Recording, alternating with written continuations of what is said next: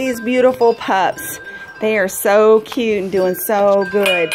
That one right there is Kate. That is Kate right there. She's doing awesome. She's going to get spayed on Tuesday. Lizzie is the one in here that has already been spayed. She leaves next week.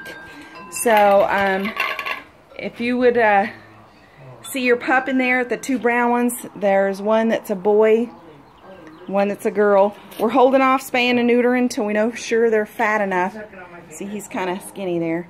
Um, is that the boy? Let me look here. Yeah, that's Tommy right there. This is Tommy, and that is Tina. That's Tina right there. So, anyway, just to let you know, they're all super beautiful, and they're just doing great here in CCPAL.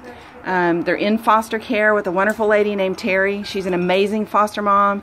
She loves these puppies more than anything, and she's just doing a fantastic job, and we're super proud of her and these puppies. So, um, guys, thanks for your patience. We're just waiting until for sure we can get them um, all spayed and neutered. The one that is done is Lizzie, and she'll be leaving here soon. She's the fattest one. That's her right there. So anyway, just to let you know, they're, they're all going to be available soon to leave Texas to go to their forever homes. These are the heeler pups.